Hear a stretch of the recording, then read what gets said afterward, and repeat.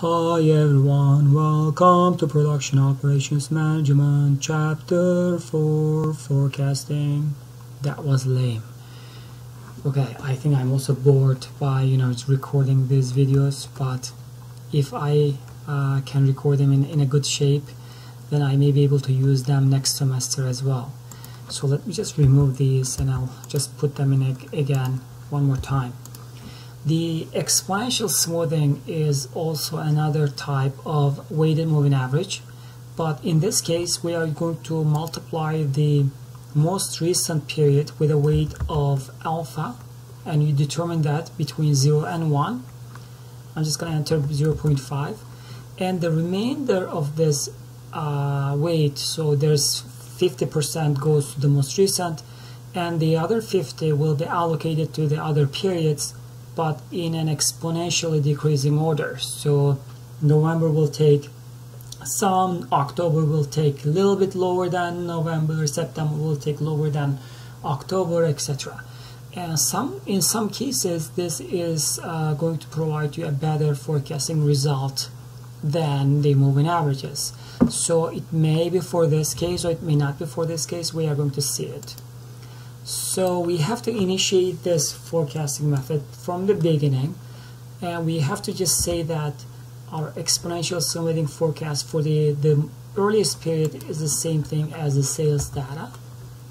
And then we are going to use the formula provided by your textbook. And that says the forecast in the earlier period plus alpha, and we put a dollar sign,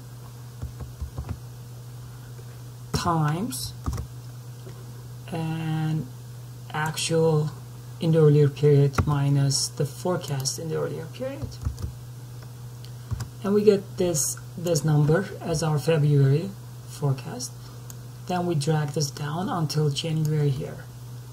And this number 16.65 as you can see it's using the December values December is using November values etc and it is all all the values are dependent upon the, the, the earliest value. So you have to just use Excel in this case if you have a lot of numbers to to work with. Uh, it's done. So for January we are expecting the the sales would be 16.65 and is this better estimation than the other two? So first let's find the deviation and we are not going to put the deviation for January because we assume that they are going to be the same. We will put a deviation for February and the sales data minus exponential the forecast. And we drag this down. We are not including January because there is no actual data yet. And then absolute deviations we're going to find them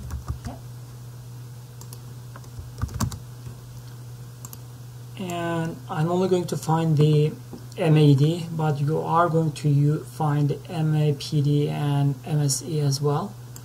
So MAD value the mean absolute deviation is the average of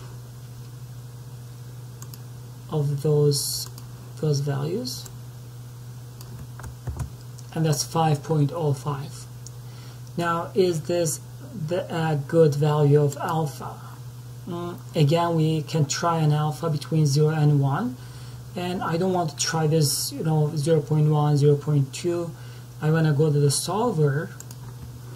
And from the solver and I can just say that my objective is the MAD and I want to minimize it by changing alpha.